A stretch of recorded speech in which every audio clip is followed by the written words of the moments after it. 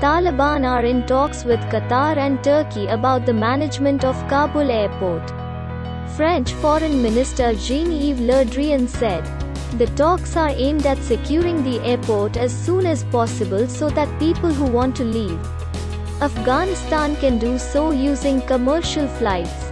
He added, Taliban have seized control of Kabul airport after US troop withdrawal. Subscribe to the channel for more